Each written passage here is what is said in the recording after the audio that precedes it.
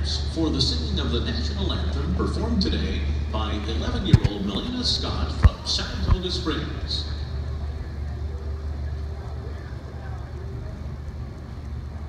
Oh, say, can you see by the dawn's early light what so proudly